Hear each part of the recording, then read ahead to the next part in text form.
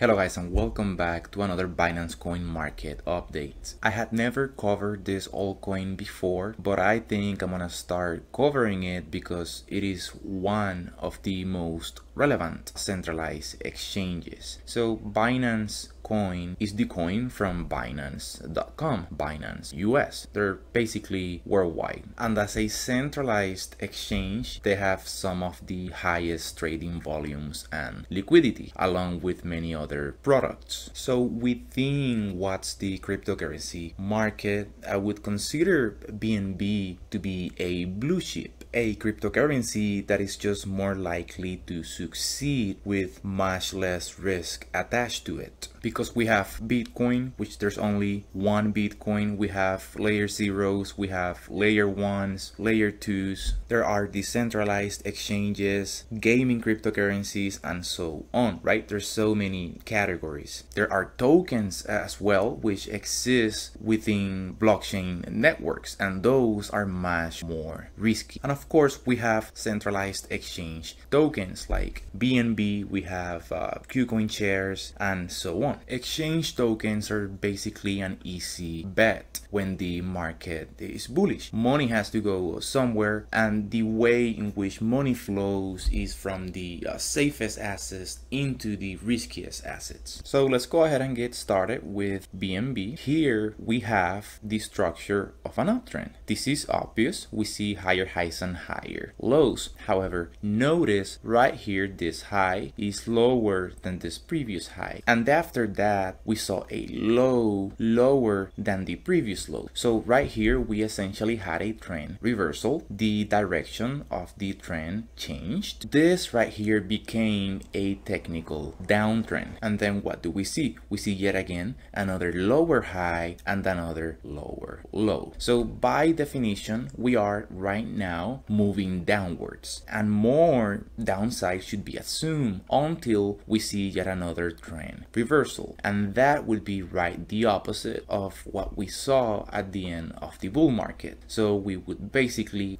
have to see a brand new structure that of an uptrend with higher highs and higher lows. Now BNB is moving in this pattern that seems to be a falling wedge. Now falling wedges have a price structure of lower highs but also lower lows. These are a byproduct of a downtrend. Obviously this downtrend cannot continue forever. So right here the tip, this wedge we call the apex and for the most part we tend to see an expansion in volatility as price action nears the apex of a consolidation pattern. So let's go ahead and play with the idea of a bullish breakout and what we should expect going forward in that scenario. Say that BNB does eventually rally above this line of resistance. We see some sort of rejection at this horizontal level that is just about $340. We see a retest of the previous resistance level, which is now support. Then we see an eventual rally above the previous high. This would be a confirmation of a falling wedge breaking to the upside. And in case of a bullish breakout, we would likely see price action moving towards previous areas of resistance. So let's actually go ahead and draw this. We see a break outside of the wedge, we get a confirmation, then we see a push to the upside, a correction, essentially a higher low, then we once again see another push to the upside. And right here here we would get a short-term uptrend until at some point we end up challenging this previous high at approximately $460. And again, this is what I would expect in a bullish breakout. Of course, when it comes to a falling wedge like this, we do have a technical price target at the top of the wedge, which for BNB would be nearly $700. Now let's talk about the bearish scenarios going forward because like I said, despite having a falling wedge formation, which is for the most part a bullish reversal pattern, we are still stuck in a downtrend, like I said, until we see otherwise. Therefore, I'm gonna assume that BNB will continue moving downwards towards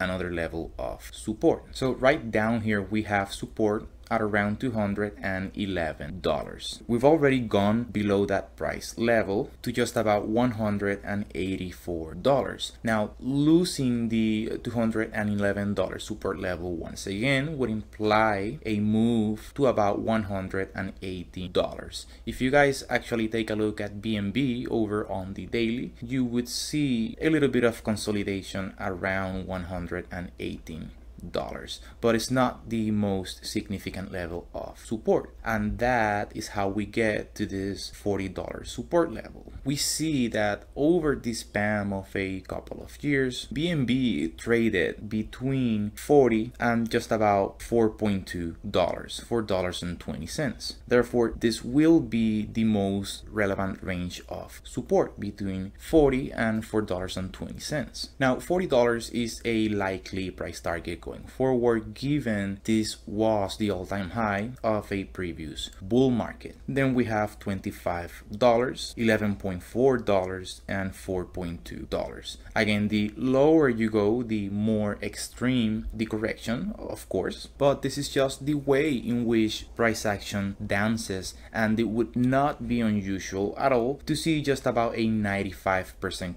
correction for altcoins in a bear market. Now over the immediate short term for BNB, we have a falling wedge formation. This pattern of consolidation has been here for just about 83 days. Now this falling wedge is exactly the same as the much bigger falling wedge and this basically implies we might potentially see a retest of the top of the wedge at approximately $340 for BNB. Pay attention closely for a potential bearish divergence on the daily because if we actually end up seeing a bullish breakout for the smaller falling wedge, we'd basically re-challenge this previous high or we might even go a tiny bit higher. And in that case, if we see the RSI putting in a lower high, this this would be a technical bearish divergence and in this case it would be more likely that we see a retest of $211 for BNB. Now here we have another piece of data uh, supporting the idea of BNB breaking down going forward and this has to do with Bitcoin's dominance ratio. For the most part when we are in a bear market Bitcoin outperforms the altcoins and when that happens we see the Bitcoin dominance dominance moving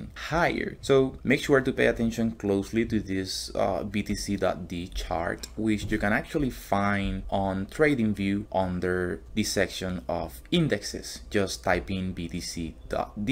If you're not tracking this and you have altcoins, you're making a huge mistake. So right here we have a small rising wedge formation for BTC.D, implying a potential retest of this previous lows of 39%. In addition to that, we have a slight uh, bearish divergence. But whatever happens short term for BTC.D, I believe would not be as relevant as a decisive breakout out of this falling wedge formation. So a decisive breakout to the upside would likely crush altcoins, giving us even better entry points. Then a breakdown, right? A move to the downside, essentially going below 39% and towards 35% would likely lead the altcoins to outperform Bitcoin within a specific time period. Now, the most relevant level of support for BTC.D would be at 35%. This is the all-time low that we had around the previous altcoin season. So going below 35% for BTC.D would basically imply price discovery for altcoins, uh, basically a big altcoin season. Taking a look at BNB over on CoinMarketCap, we see it is number five, right? It is the fifth biggest cryptocurrency. So let's actually go ahead and take a look at these stats. And BNB has a market capitalization of just about $44 billion.